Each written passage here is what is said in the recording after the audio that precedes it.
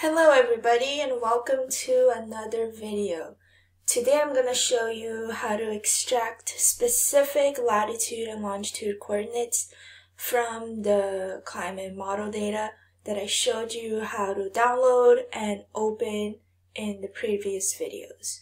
I'm going to walk through real quick here how to open it again so that you get the information that you need. Um, so we're getting started. We already have our uh, workspace set for the directory that we want and that's the folder where I have all my climate model data saved already. And a recap from the previous video. Um, first we need the libraries. Need this library. That's pretty much it. NCDF4. So we're saving our netcdf file into this variable called ncin. And what you're doing here is the function is called ncopen and then in here you put the file name inside of the folder that you are in already in your working directory. So let's just use, let's see, ccsm. Let's do access, right? Access 3. And if you didn't know this already, in R, when you start typing and then you press tab, it auto-populates it, so you don't have to type out the whole thing. So now we have it open and you want to get the variables from your netcdf file. How you do it is nc var for variable get ncn is the name of the file, the variable name is latitude, lat for latitude. So you're saving the latitude data that is in the ncn file, which is access13 RCP 4.5 data, maximum air temperature, into this local variable you're calling lat.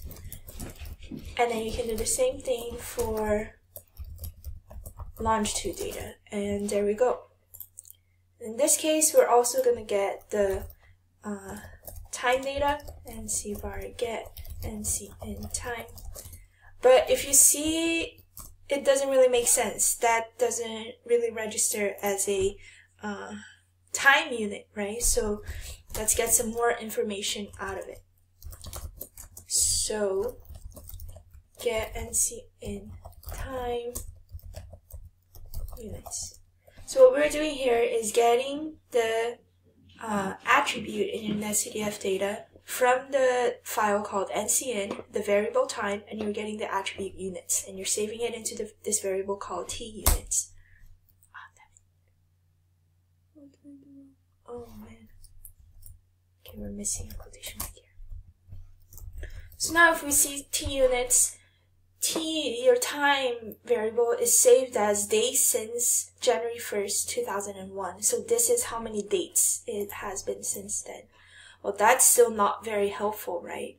So what we can do is we continue we can create a time variable that we understand better.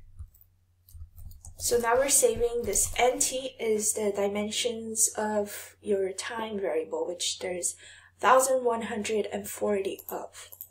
And when I was downloading this data, I downloaded monthly data, so that's about 95 years worth of data. And when does it start? Let's see. Now we're gonna use this to set a new uh, time unit in a way that we understand better. Just copy these. Oh, chron.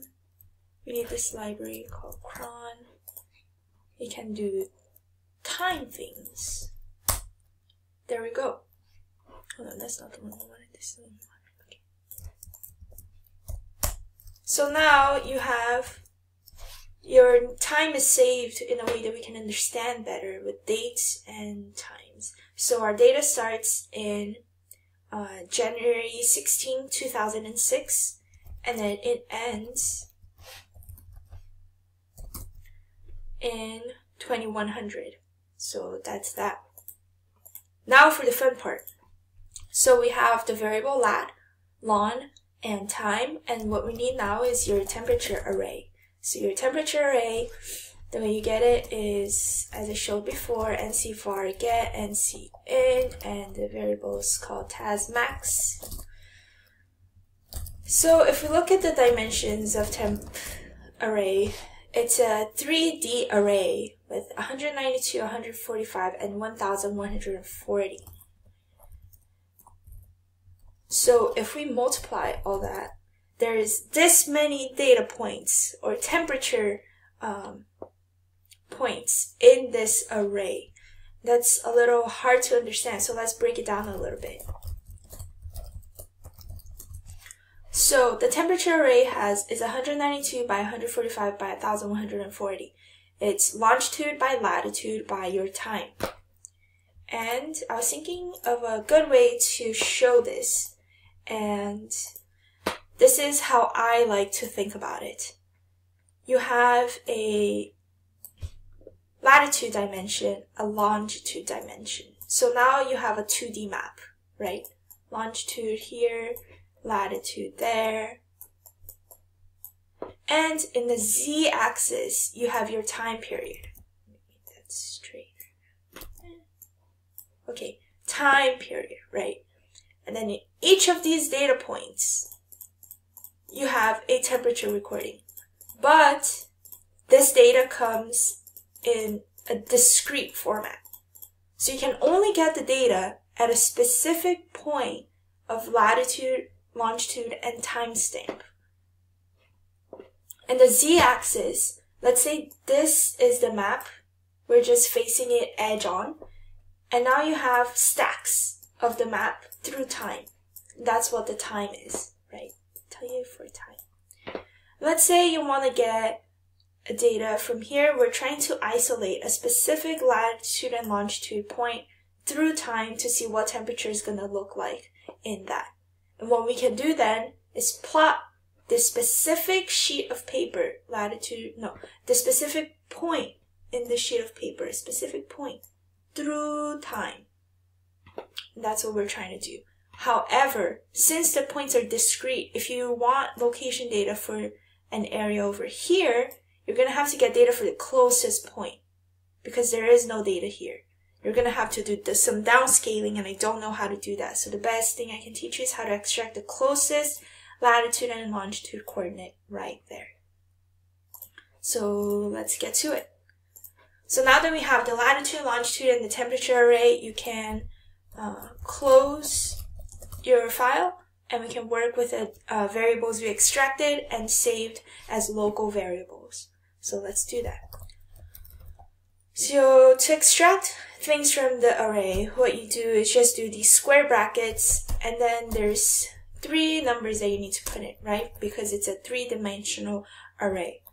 So if we get, and what we're doing here is getting the temperature at the first latitude, I mean longitude, the first longitude, which is zero, first latitude, which is negative 90, and first time period, but it's actually TNU, which is that date.